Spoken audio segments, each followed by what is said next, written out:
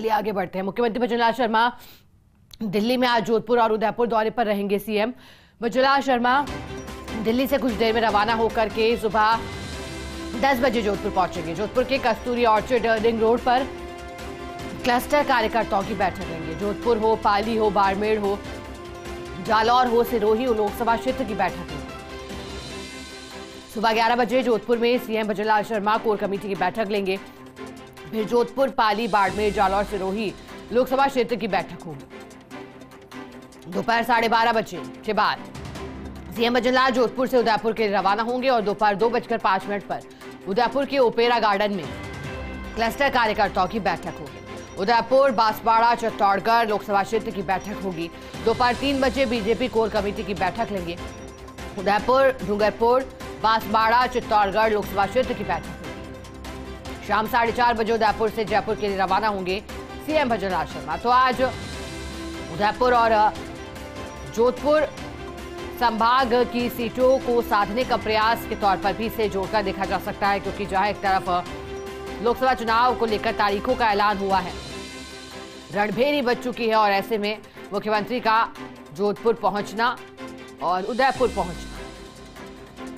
हालाँकि उम्मीद है कि जान फूकने का कार्य मुख्यमंत्री भजनलाल शर्मा कार्यकर्ताओं में करेंगे और देखिए जीत का मंत्र, जिस तरह से संगठन से जुड़े रहे हैं और जोधपुर संभाग के तौर पर तो एक बड़ी ज़िम्मेदारी का निर्वहन भी कर चुके हैं। संगठन महामंत्री के तौर पर उन्हें बागडोर अपने हाथ में ली थी और ऐसे में भली भांति परिचित हैं। हर एक कार्यकर्ता से नाम लेकर हर एक कार्यकर्ता को पुकारते भी हैं और अब जोधपुर पहुँचेंगे और जोधपुर के बाद उदयपुर पहुँचने का कार्यक्रम है। यानी कि मेवाड़ और मारवाड़, क्योंकि कहा जाता है, देखिए, विधानसभा चुनाव के लिहाज से तो कि जिसने मेवाड़ जीता, उसने गढ़ जीत लिया। लेकिन अब बात लोकसभा चुनाव की हो रही है। लेकिन चूँकि राजस्थान की 25 सीटें भी बेहद महत्वपूर्ण अपना एक अलग प्रभाव डालती हैं और जैसा प्रदर्शन बीजेपी का 2014 और 19 के चुनाव में रहा था, राजस्थान में कांग्रेस को खाता नहीं खोलने दिया गया था।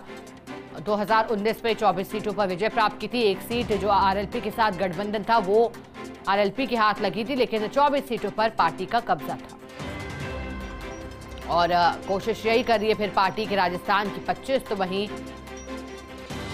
देश भर में 400 के पार का आंकड़ा, जिस पर निगाहें हैं।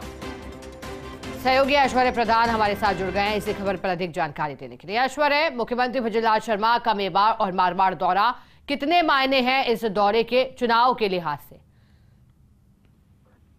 देखिए, मुख्यमंत्री भजनलाल शर्मा जोधपुर पहुँचेंगे और जोधपुर पहुँचने के बाद इस सुबह एक कार्यक्रम है जिसमें SN medical college, Shastri Nagar, Jodhpur में क्लस्टर कार्यकर्ता बैठक जिसमें लोकसभा क्षेत्र, जोधपुर, पाली, बाड़मेर, जालौर, सिरोही, इन क्षेत्रों की बैठक है।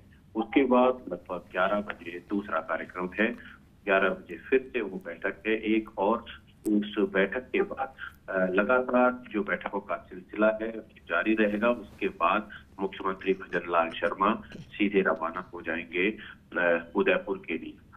क्योंकि 11 बजे जो बैठक है, वो कोर कमेटी की बैठक है। होटल नोवाटल में बैठक रखी गई है। उसमें जोधपुर, पाली, बाड़मेर, जालौर, सिरोही की बैठक है।